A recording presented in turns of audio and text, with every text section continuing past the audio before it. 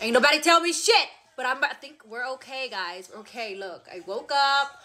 I add some mousse in it. I, I think it looks pretty back alive.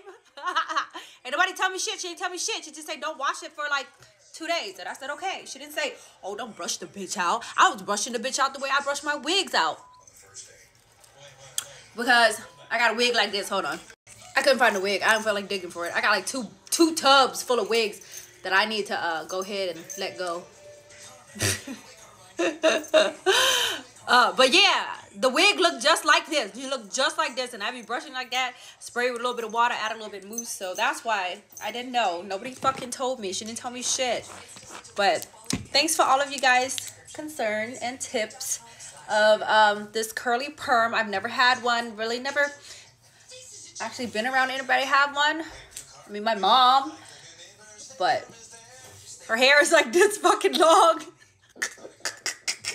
and we never talk. Like, she never told me how to take care of a perm. I Now, I've been around straight perms, relaxers, when I was growing up in group home.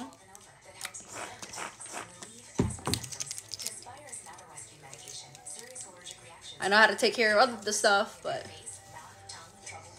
this, no. But I think it looks really good. I really like it, guys. Look at